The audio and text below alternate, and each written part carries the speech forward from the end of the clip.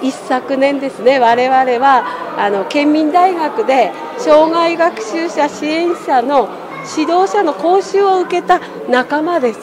で村田で、えー、実践編という2年目の講座を開いたんですね。で去年すごく好評だったので、えー、仲間たくさんいたんですが10人で、えー、立ち上げました障害学習ですから0歳児からまあ90歳100歳までの方どなたにも対応できるようにということで、えっと、鹿島と吉田と渡りの保育所の皆さんがいらしています。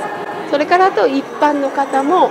例えば100年前の古地図や、えー、それから縁日、えその他調理も実習講座にお申し込みされた方はただいまこの辺の名物伝統料理であるナスのずんだあえとそれから八杯汁というのをただいま調理室で作っております。こちらの地域に対象ごとは根付いてましてえこちらでもなんか教えてる方がいらっしゃるそうです。その先生もいらしてましてえーと、さっき覗きましたらたくさんの方が練習して多分今日ステージ発表できるくらいまで行くと思います。これからですね長い時間をかけてこの被災したいろんな地域で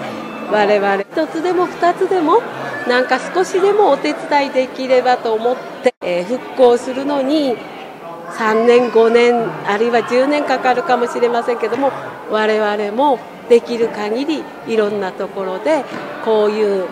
まあ、イベント講座ができたらいいなと思っています。